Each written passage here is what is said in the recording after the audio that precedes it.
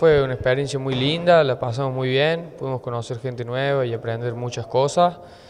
Y nada, tuvimos la suerte de poder, digamos, eh, pasar a la instancia nacional con los trabajos que presentamos. Y nada, llevamos un trabajo de la leche de acá de la escuela que habla sobre la leche a 2 a 2, que tiene un precio diferencial en el mercado.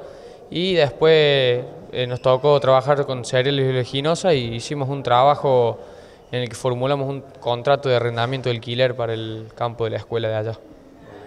Bueno, eh, contentos, digamos, porque acá participaron todas las escuelas eh, agropecuarias, técnicas agropecuarias de la provincia. Sí, la verdad que muy contento con el resultado, pero más que todo con la experiencia que tuvimos, que fue muy linda, más allá del resultado, digamos presentaron este proyecto del tema de la leche, con el cual también ganaron en Feria de Ciencias, pero desde un aspecto distinto, ¿no? Desde, eh, desde un costado distinto de este proyecto.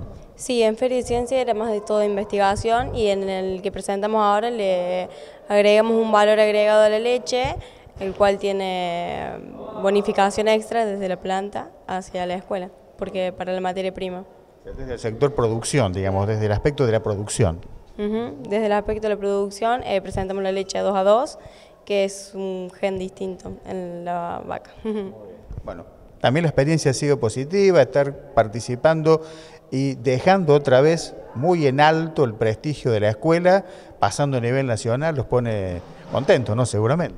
Sí, la verdad que fue una experiencia muy linda, como dijo mi compañero, eh, conoces un montón de personas, aprendes un montón de cosas y está muy lindo para ir.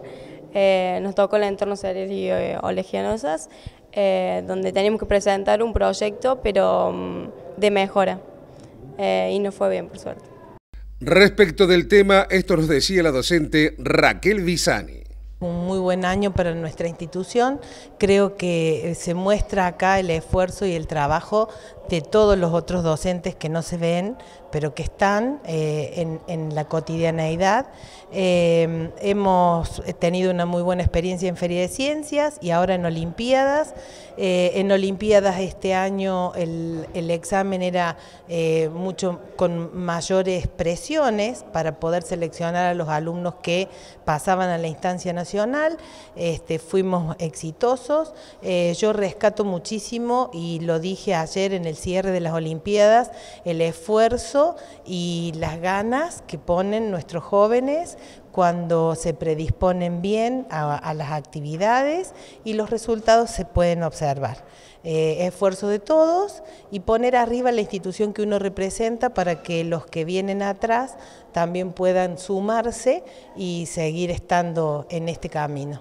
Raquel, ¿a dónde tendrán que ir a defender ahora a nivel nacional este proyecto? Eh, bueno, es, a Misiones. Eh, Misiones otro contexto con otro tipo de producciones seguramente, para el cual nos vamos a preparar también. Eh, van a cambiar probablemente los espacios productivos, los espacios curriculares, pero este, bueno, eh, vamos a tener la misma característica de propuesta en cuanto al proyecto que los chicos llevan y al informe técnico que después tienen que realizar allá, posicionándose ellos ya en un técnico con este, posibilidades de entrar a trabajar y del otro lado un productor que muestra cuál es su realidad y ellos les tienen que proponer la mejora.